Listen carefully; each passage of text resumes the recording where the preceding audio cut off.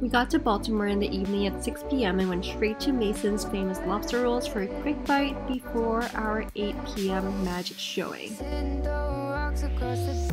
I absolutely loved this show. It was super entertaining and funny, and Spencer, our magician, did a great job at engaging with the guests.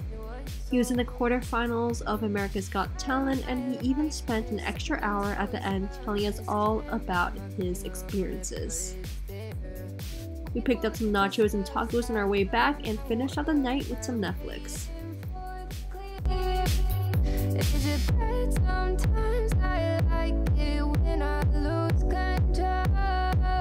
The next morning, we went straight to Fells Point neighborhood in Baltimore and walked through this cute farmer's market.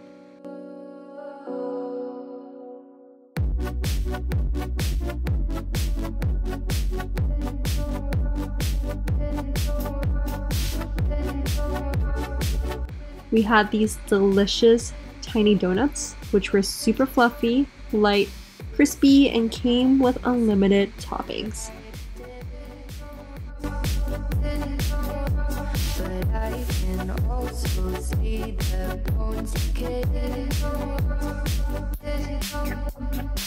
Afterward, we went souvenir shopping and passed by the shop that sells seasoned olive oil along with several other items made right in Maryland.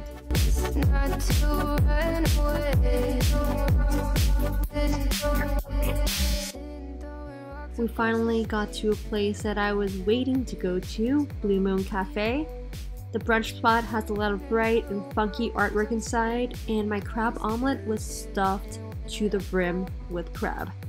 Highly recommend this place, but the wait can be long, so make sure to come early. Even though we were so full from brunch already, we walked to a French pastry shop nearby to pick up some macarons to have for later.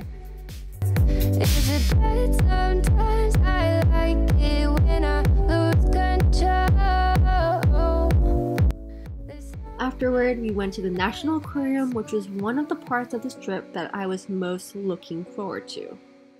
They have a magnificent display of sharks, where you're literally surrounded by four floors of them at one point.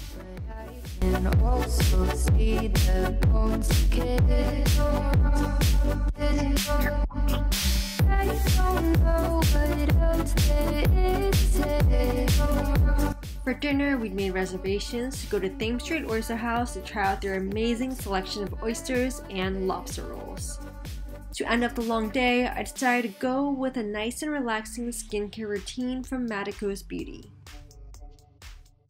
If you know me, you know that I love a good skincare routine, and this set by Matykos Beauty was perfect for that. The Jade Roller is perfect for reducing puffiness in your face, and I absolutely love the cool feeling on my face. Next, I indulge with their 24 karat gold eye and forehead patches that are infused with vitamin C, hyaluronic acid, and rose essence.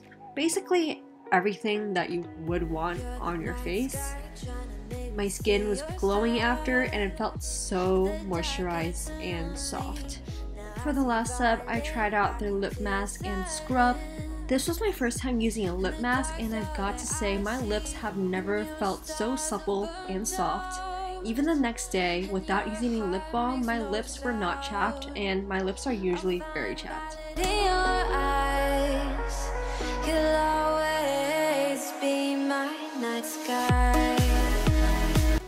On our last day, we visited the famous LP Steamers because it isn't a Baltimore, Maryland trip without trying some of the crabs, they gave us each a mallet and we went at it. We also visited Fort McHenry National Park. Some of the exhibits were closed due to COVID, but regardless, it was super cool to see the cannons and walk amongst the field.